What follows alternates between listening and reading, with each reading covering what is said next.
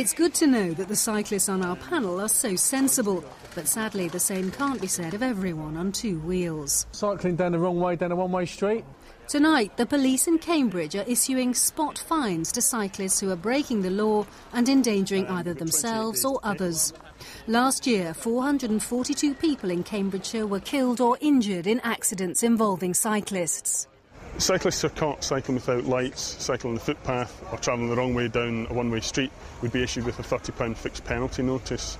Part of the campaign that we're running just now is if they have no lights and get a penalty notice, they'll be given free lights by the City Council and they'll be fitted here and now, so when they leave us, they'll be safer than they were when they arrived. Sergeant Gordon Morgenthaler has just stopped this cyclist for riding the wrong way up a one way street. I can issue with a ticket uh, for contravening the traffic sign, cycling the wrong way down a one way street. It's a £30 fine, which you can pay in various ways, and I'll explain that in a moment. Does this go on a record? No, no, it's purely just a straight £30 fine. As you can see, the street's very busy. You get the cars driving around the corner who use the full width of the road because it's a one-way street. They don't expect to have the cyclist cycling towards them. And ultimately, if one of the vans hits you, it's going to hurt. As the police know only too well, when collisions involving cyclists do occur, the consequences can be extreme. Engineer and dad of four, Glenn Sider, was mad about cycling. One day in November 2007, Glenn was riding into work as normal when he was hit by an articulated lorry pulling out from a side road. Glenn was thrown from his bicycle and dragged under the vehicle's rear wheels. He was killed almost instantly. Looking at this place, it does seem like a, an unlikely spot for an accident. Yeah, it is, because when you look around, there is no real obstacles to obstruct your view, especially when you think if you're in a big lorry, you're up quite high as well, so you have got a, a better view than a, even a, a motor a person in a car. So, you know, really, I can't understand why he never did actually see him. The lorry driver involved in the collision was charged with driving without due care and attention. To the Sider family's amazement, he received just six points on his licence and a £275 fine. And being back here, is it very difficult? Uh, yes and no, it is, because obviously it is hard because this is where Glenn died. But it's also nice to come back here because it's nice to, you know, say you, know, you miss him and he'll always be in your heart, really. Angela is in no doubt that more could be done to protect cyclists like her husband. I believe in Holland, the cyclist is always right, and it's always the driver's fault if he hits a cyclist. I think I believe that is the case over there. I think we should have something over here like that. It may be just a short hop across the North Sea, but here in the Netherlands, the approach towards cycling is a world away from back home. This is the school run Dutch style. Cyclists have their own lane, completely separate from the rest of the traffic. When you see this, it's not hard to understand why over a quarter of all journeys in the Netherlands are done by bike, compared to just 1% in the UK, and why they have around a fifth of the cycle accidents we do. David Hembrow moved here from the UK recently.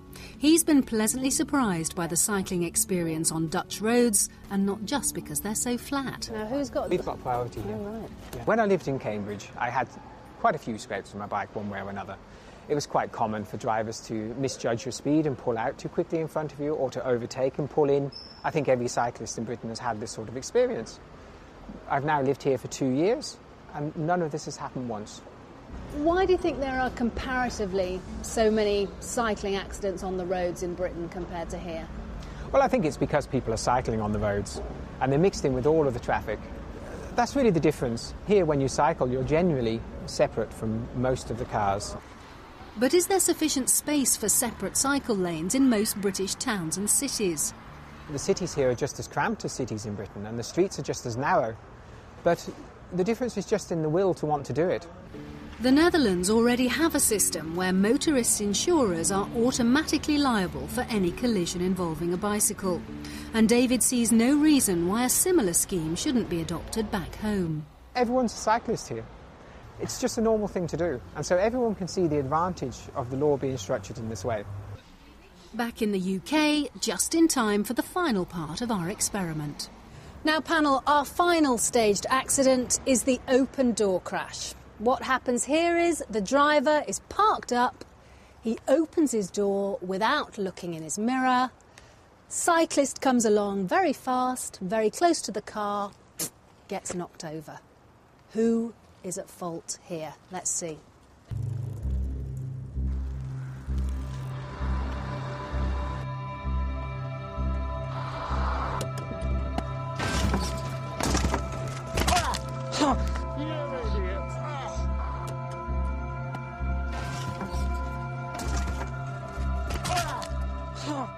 So there are the rather heart-stopping open door crash. Now, is that an open and shut case? Yes, yes, it is because it's happened to me, and it's not funny.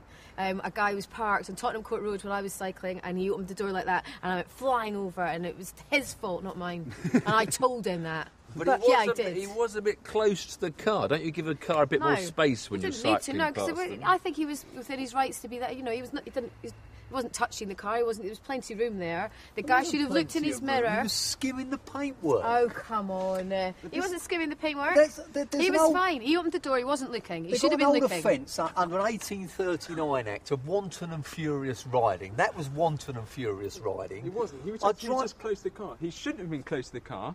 But it's the responsibility of the driver to look He in your mirror before you open your door. car. You You should should always look your in your mirror. This is, this is the con- the absolutely classic case of being caught between the devil and the deep blue sea. If we're too close to parked cars and they open the door, it's our fault. If we're too far out in the road, we're too far out in the traffic, and it's our a, fault. there's a solution to it. Get the bus. Okay, let's have another quick show of hands. Who thinks in that case the motorist was clearly to blame? Oh. Traitors. Interesting. So, in fact, five to one, Steve. You are left alone there saying, in that case, that driver should have looked in his mirror. Oh. And the idea, perhaps, that in law, maybe motorists should be made automatically liable. So, yeah, that's No, live. no, no. Now, you, now you've really got on this new idea. I mean, it's lunacy. We've already seen one clear-cut case where the cyclist wasn't paying attention. If you give them total freedom, it's never my fault. They're going to have iPods, sunglasses on. I mean, they'll just be crashing into motorists left, right, and centre because they won't be thinking that it can ever be their fault. They have to take some No, no, blame. we're not going to be riding around looking at the sky and watching the birds and that because if a car hits you, it will likely kill you and it will always hurt. And I just believe, and I just believe that first should come pedestrians. They are the most vulnerable. Then should come cyclists. Then should come cars. Then should come bigger vehicles like lorries. And that should just be the natural order of things because that is how vulnerability works. And would you like to see that no, no, enshrined in law? Absolutely. So, Chris, you would like to see it enshrined in law too, would you? That we would very much like to see this idea brought into law, and it doesn't mean that cyclists can just break the law and they'll automatically get liability and compensation from the car driver. Because actually, if the cyclist breaks the law, they won't get it. We already have this law in some cases. If you run into the back of somebody else, no matter what happens, you're automatically liable. The same thing should happen with pedestrians and cyclists, unless it can be proven that they, they were breaking the law at the time. But as we've seen, it's very hard to know who's to blame. In that case, it comes down to individual cases, which is what it is at the moment, which is how it should stay. So, bikes versus cars, two wheels versus four. For now, at least, the debate on how to make our roads a safer place for everyone looks set to rage on. With passionate motorists proposing one solution What you have to do, I'm afraid, is to make cyclists more accountable, and you have to put little registration plates on their bicycles or some form of number so we know and they know that they can, in the event of an accident, be traced and blame can be apportioned. And equally ardent cyclists another. The Netherlands has achieved an extremely high rate of cycling and extremely safe cycling by building the infrastructure that actually works. For Angela Sider and the thousands of others who've lost loved ones on our roads, saving lives in whatever way possible is all that matters. It's something you just never expect to happen to you. And um, it's something that's changed all our lives, not just mine, my children's, and his mum and dad, his brothers and sisters, everybody, you know, because we all miss him so much. You know, it's really hard to think that he's, he's never coming home, you know. For more information on this programme, please visit our website at itv.com forward slash tonight. Coming up on Monday, 999 Condition Critical.